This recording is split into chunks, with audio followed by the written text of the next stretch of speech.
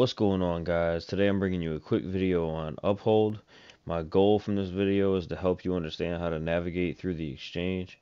I'm going to show you how to buy and sell. I'm going to show you how to transfer to another exchange and or wallet. And I'm going to show you how to access your wallet's address. I'm going to try to keep this short, sweet, and simple. So with that being said, let's jump into it. Peep this, come on. Alright guys, so this is what Uphold looks like on a desktop. And everything I show you on here is the same as the mobile app. The layout's just slightly different. Um, this is a screen grab that I got from Google of what the mobile app would look like. Uh, it is an outdated photo, so down here where it says activity, this would say earn. Uh, recently, Uphold brought staking to the platform, so that's what the earn tab is. But for starters, I'm going to show you guys how to buy and sell. Show me the money! So the first thing you're going to want to do if you're on a mobile app is hit this transact button.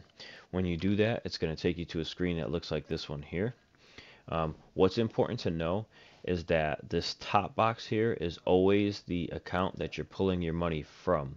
And the bottom box will always be the account the money is going to. So if you were buying crypto, this top box would either have your debit card or would have your bank account and then this bottom box would have the crypto and vice versa. If you were selling your crypto, your crypto that you had would be in this box and the bank account or the debit card would be in this box.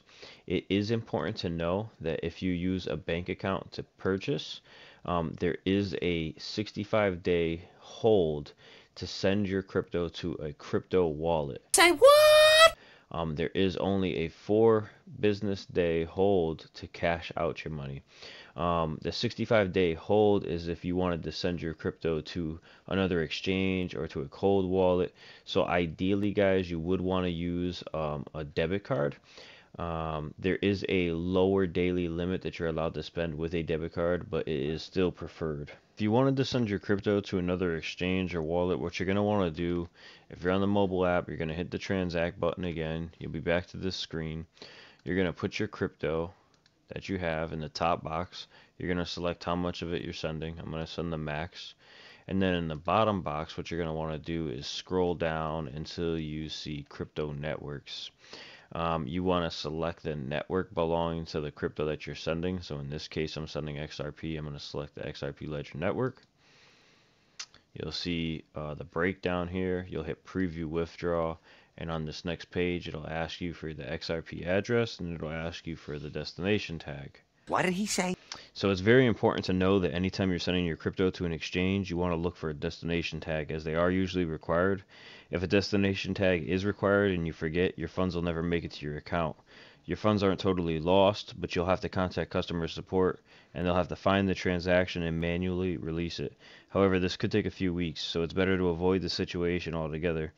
If you're sending your crypto to a wallet like a cold storage, a destination tag isn't used. But if you're sending your crypto to an exchange like Uphold or Coinbase, um, usually you will use a destination tag. Not all cryptos use destination tags. However, it's better to be safe than sorry. So just make sure you look for it anytime you're using a, an exchange. Um, in this instance, I'm sending my XRP to a cold storage, so I'm not going to use a destination tag. So on this next screen here, you'll see, um, you know, the fee, how long it's supposed to take, etc. You'll hit confirm withdraw. And on this next page, it's going to ask you for your authenticator code. For those of you unfamiliar with an authenticator, um, when you set it up, Uphold will make you set it up. It'll look like something like this. Um, basically, it'll say Uphold right here. Um, and you'll have six digits. You'll have this little circle right here. And when this circle runs out, these six digits will change. So um, it's it's just an extra level of security.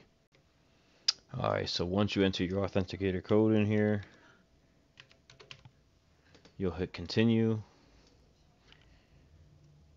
And then you get the check mark. It'll say your transaction is complete. You'll see it leave your account and then it should show up very soon if you're using XRP.